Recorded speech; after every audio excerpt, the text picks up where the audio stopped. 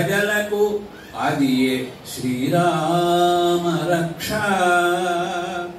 సత్యవాక్యమునే సర్వదా పలికిన ప్రజలకు అది శ్రీరామ రక్ష సర్వభూతహితం మే సతతం కోరిన ప్రజలకు అది శ్రీరామ రక్ష సుగుణాలతో కూడి శోభిల్లుచుండిన సుగుణాలతో కూడి శోభిల్లుచుండిన ప్రజలకు అది శ్రీరామరక్ష. ప్రేమతోనున్న అది శ్రీరామరక్ష. అటుల సర్వజగద్రక్షయగునటంచు ఆచరించిన జయములనందగలము భద్రముల నిత్య శుభముల పడయగలము. కాబట్టి సుసంహృత్య సభూతాన్ సచరాచరాన్ పునరేవ తథా స్రష్టుం శక్త రామ మహాయశా. లోకాలని లీనం చేసేదానికి లయం చేసేదానికి అలాగే అన్నిటినీ కూడా అంటే సకల చరాచర ప్రాణితో సహా సృష్టించేదానికి కూడా శక్తి కలిగినటువంటి ఆ భగవానుని యొక్క అంశయ్య రాముడు అని అక్కడ తెలియజేయడం జరిగింది. రామ రక్ష అంటే అంత గొప్పది. మరి రాముడు కాపాడినటువంటి భక్తుల యొక్క పేర్లు మనం ఒకసారి అనుకోవాలి అనుకుంటే ఒక పద్యంలో కొంతమంది భక్తుల పేర్లు మనం చెప్పుకోవచ్చు. ఆయన కరుణ ఎంతమంది భక్తుల మీదో ప్రసరించింది. ఉదాహరణకి గుహుడు అలాగే మునులు ఆ తర్వాత కాకాసురుడు జటాయువు రాక్షసులైనటువంటి విభీషణుడు మొదలివారు శబరి ఇట్లాగా సుగ్రీవుడు ఆంజనేయ స్వామి ఇంతమంది మీద ఇంకా ఎంతో మంది మీద రాముని యొక్క కటాక్షం శ్రీరామ రక్షగా నిలిచింది.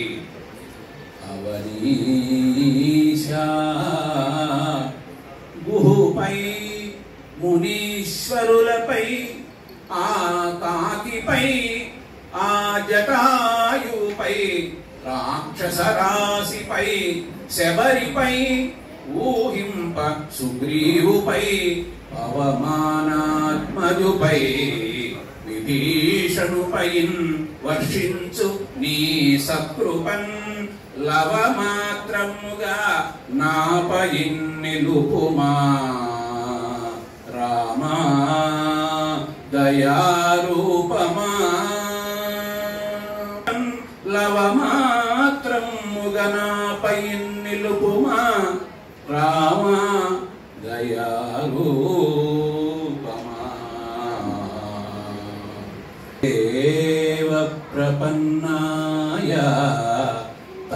अस्मीति च याचते अभयं सर्वभूतेभ्यः। ददामि ये तद्व्रतम् मम। రాముడు చెబుతున్నాడు నాకు ఒక వ్రతం ఉంది. ఏమిటి ఆ వ్రతము? అంటే శరణాగత రక్షణము అనేటువంటిది. కాబట్టి ఒక్కసారి సత్కృ అంటే ఒక్కసారి అయ్యా రామ నేను నీ వాడని. అన్యథా శరణం నాస్తి త్వమేవ శరణం మమ. అని ఒక్కసారి రాముని వేడుకున్నట్లయితే ఆయన తప్పకుండా అనుగ్రహిస్తాడు. అది శరణాగత త్రాణము అనేటువంటిది ఆయన యొక్క కర్తవ్యంగా భావిస్తాడు వ్రతంగా భావిస్తాడు. ఇంకా కూడా రామాయణంలో మనం పరిశీలించినట్లయితే రామచంద్ర స్వామికి తండ్రి పట్టాభిషేకం చేసిన సంత వేద్యాయ మేఘశ్యామలమూర్తయే. పుంసామోహన రూపాయ పుణ్యశ్లోకాయ మంగళం. వేద వేదాంత వేద్యుడైనటువంటి వేదముల చేత వేదాంతముల చేత తెలిసి తగినటువంటి తత్వం కలిగినటువంటి మహానుభావుడైనటువంటి నీలమేఘశ్యాముడైనటువంటి రామచంద్ర స్వామిని వాళ్ళందరూ కూడా ఎంతగానో ఆరాధించారు. వారి యొక్క ద్విమంగళమైనటువంటి స్వరూపాన్ని చూసిన తర్వాత మరి ఈ సందర్భంలో ఇక్కడ ఇంత గొప్పగా అంటే ఏదో చేశాము అనేటువంటి విధంగా కాకుండా సత్కారాన్ని సంపూర్ణంగా త్రికరణ శుద్ధిగా రామచంద్ర స్వామి యొక్క అనుగ్రహంతో చేశారండి. ఇప్పుడు శ్రీధర్ గారు చక్కగా ఆ సన్మాన పత్రం రాశారు కదా. దాన్ని మనం గమనించినట్లయితే నేను రాసినటువంటి పుస్తకాలని గమనించి వాటిని అవపోసన బట్టి అందులో ఉండేటువంటి మహనీయుల యొక్క ప్రశంసలని అన్నింటినీ కూడా కూర్చి ఆయన ఎంతో శ్రమపడి తన పాండిత్యాన్నంతా జోడించి గారు ఆ సన్మాన పత్రాన్ని తయారు చేశారు. నాకే ఆశ్చర్యము. తర్వాత నిదానంగా మళ్ళీ ఇంటికి వెళ్ళి విన్నా కూడా ఇంకా ఆశ్చర్యం కలుగుతుంది. అంత చక్కగా అన్ని విశేషాలని సమకూర్చారు. అయితే ముఖ్యంగా ఇక్కడ ఈ శ్రీరామ రక్ష సర్వజగద్ రక్ష అనేటువంటి ఈ నినాదము ఇది ఒక మంత్రం. అంటే ఎందుకు చెప్పుకుంటున్నామంటే శ్రీరామ రక్ష అనేటువంటి ఈ మంత్రాన్ని ఎంతగా ఉపాసించారో ఆ విషయాన్ని మనం చెప్పుకోవాలి కాబట్టి. చిట్టుబాబు గారు తాతగారు సుబ్బారావు గారు తండ్రి గారు తండ్రి తండ్రి గారు పున్నారావు గారు తాతగారు సుబ్బారావు గారు తాతగారు సుబ్బారావు గారు ఎల్లాప్రగడ్ సుబ్బారావు గారు వారు రామనామాన్ని ఎంతగా జపించినారో నిరంతరం ప్రహ్లాదుడు చెప్తాడు కదా. ప్రహ్లాదుడు ప్రతి క్షణము భగవన్ నామాన్ని నారాయణ చేశాడు. పానీయంబులు ద్రావుచున్ పుడుచుచున్ భాషించుచున్ ఆసలీలా నిద్రాదులు సేయుచున్ తిరుగుచున్ లక్షించుచున్ సంతత శ్రీనారాయణ పాద పద్మయుగళీ చింతామృతాస్వాద సంధానుండై మెలగెన్ సురాగి సుతుడే తత్ విశ్వం అరచన్ సురారి సుతుడే తద్విశ్వమంతూవర అంటూ ప్రహ్లాదుని ప్రతి క్షణము కూడా ప్రతి పనిలో కూడా ఆయన నిద్రపోయేటప్పుడు కూడా శ్వాసలోనే ఆ భగవన్ నామం అనేటువంటిది ఉండేటువంటిది నారాయణ అనే నామం. అట్లాగా వీరి తాతగారు సుబ్బారావు గారు కూడా ఆ విధంగా ఉన్న కారణంగానే ఆయన అవసాన దశలో చివరి క్షణంలో శ్రీరామ శ్రీరామ అంటూ అసువులు వదిలినారు అంటే ఎంతటి పుణ్యాత్ములో ఎంతటి మహనీయులో మనం తప్పకుండా తెలుసుకోవాల్సినటువంటి అంశం కదండి? చివరి క్షణమున శ్రీరామయని పల్కి పూతాత్ములైరి మీ తాతగారు. అయ్యా చిట్టుబాబు గారు మీకోసం చెప్తున్నారు. చివరి క్షణం శ్రీరామయని పల్కి పూతాత్ములైరి మీ తాతగారు. మారుతిన్ దర్శించి మంత్రోపదేశాన పూతాత్ములైరి మీ తండ్రి గారు. ఎప్పుడు మనం రామ రామ రామ అంటూనే ఉంటాం. అన్ని సందర్భాల్లో కూడా అంటూ ఉంటాం. అది మంచి సందర్భంలో చెడు సందర్భంలో కూడా. ఎందుకంటే రాముడు ఆదర్శ మానవుడు ఎలా నడవాలో ఎలా నడుచుకోవాలో మనకు చూపించినటువంటి మహనీయుడు. అర్థం వలె తీర్చిదిద్దు దేవుడు మనకు ఆదర్శ పురుషుడు వేదమూర్తి. అద్దంలో మనల్ని మనం ఏ విధంగా తీర్చిదిద్దుకుంటామో ఆ విధంగా రాముని చూచి రాముని గుణాలను చూచి రాముని చరిత్రను విని రాముని స్మరించుకుంటూ మనలో అక్కడ ఉన్నటువంటి రామునిలో ఉన్న గుణాలు ఉన్నాయా లేవా అని మనల్ని సంస్కరించుకోవాల్సినటువంటి అవసరం అనేటువంటిది ఉన్నది. భువి విరాజులు పరిపూర్ణ ధర్మముగా మూర్తి భవించిన పుణ్యమూర్తి. రాముడు మామూలుగా తెలిసిన వాళ్ళు పొగుడతారు శత్రువులు కూడా పొగిడారు. మారీచుడు శత్రువు కదా రాక్షసుడు కదా. రామో విగ్రహవాన్ ధర్మ అని ప్రశంస చేశాడు. కాబట్టి ధర్మ స్వరూపుడు రామచంద్రమూర్తి. ఆయన ఇంకా ఎంత గొప్పవాడంటే ఆయన సుఖ దుఃఖములకు అతీతుడు రాగద్వేషములకు అతీతుడు. అంటే మనమైతే ఏదైనా ఆదాయం వస్తే పొంగిపోతాము ఏదైనా కష్టం వస్తే పొంగిపోతాము అలా లేదు కదా. ఆయన పట్టాభిషేకం అన్నారు. వచ్చాడు పట్టాభిషేకుడు కాదు అన్నారు అడవులకు వెళ్ళాలన్నాడు. గమ్మగానే ఉన్నాడు తప్ప ఏం మార్పు లేదు. ఘన యౌవరాజ్యం కలిగినం తొలగినం ఆనందమునందు ధ్యానమూర్తి. వేద వేదాంతస్థ విజ్ఞాన రాశికి అర్థమై వెలగడి అమలమూర్తి. అనుచు కీర్తింపబడు పరమాత్మ సుధరాకార అలకు తలతు రక్షింపుమయ్య కోదండరామ ఉండుమా చిత్తసీమ అయోధ్య రామ ఉండు మా చిత్తసీమ అయోధ్య రామ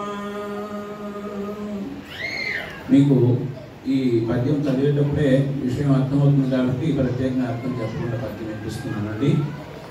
శిశువుకు స్నానము చేయించి శ్రీరామ రక్షయమును తల్లి రక్షయమరా. పాలను త్రాగించి లీల గోలిక నుంచి రామలీలాయను రాగమమరా. రామాని పదం ఎక్కడ ఎన్నిసార్లు వస్తుందో చూడండి. పాలను త్రాగించి లీల గోలిక నుంచి రామలీలాయను రాగమమరా.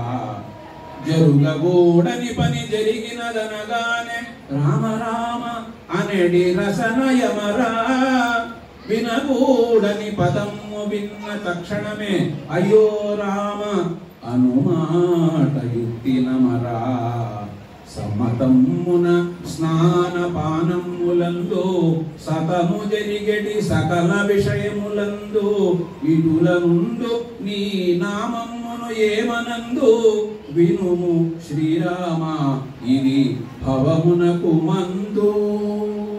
భవము అంటే సంసారం కదా ఈ సంసారమును మనము దెవదాటని వారికి పెట్టగాదగినట్టి పేరు నీది. కష్టాల గట్టెక్కగా స్మరింపగదగు తారక రాతారక నామ మంత్రము నీది. విష్ణు సహస్రము పేరున ముమ్మారు మననము చేయు నామము నీది.